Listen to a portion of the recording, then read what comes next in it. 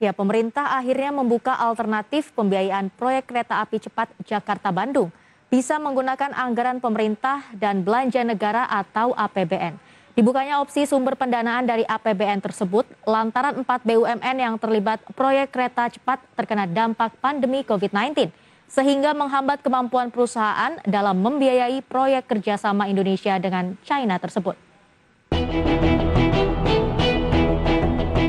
Keputusan pembiayaan proyek kereta cepat Jakarta-Bandung menggunakan anggaran pemerintah dan belanja negara atau APBN ditetapkan dalam Peraturan Presiden Nomor 93 Tahun 2021 tentang percepatan penyelenggaraan prasarana dan sarana kereta cepat antara Jakarta dan Bandung.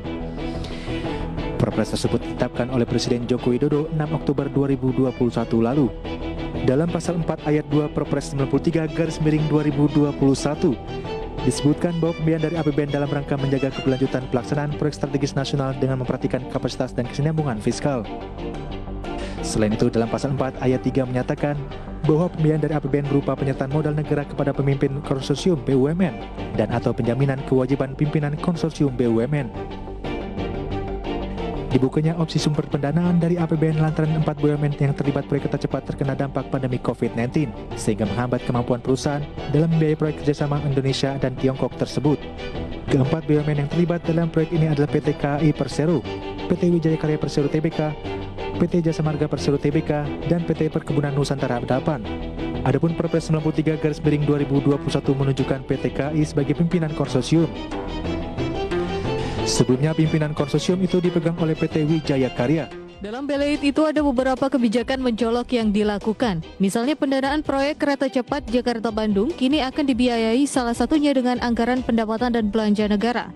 Padahal dulu Presiden Jokowi sempat menegaskan bahwa proyek kereta cepat Jakarta-Bandung tidak akan dibiayai oleh APBN. Selain itu, dalam Perpres tersebut juga memberikan tugas baru untuk Menko Maritim dan Investasi Luhut Binsar Panjaitan, di mana Luhut mendapat tugas baru memimpin Komite Kereta Cepat antara Jakarta dan Bandung. Hal ini tertuang dalam Perpres nomor 93 tahun 2021. Perpres ini merevisi peraturan Presiden nomor 107 tahun 2015 tentang percepatan penyelenggaraan prasarana dan sarana kereta cepat antara Jakarta dan Bandung di mana dalam Perpres sebelumnya, Menko Perekonomian yang mengkoordinasikan percepatan pelaksanaan penyelenggaraan prasarana dan sarana kereta cepat Jakarta-Bandung.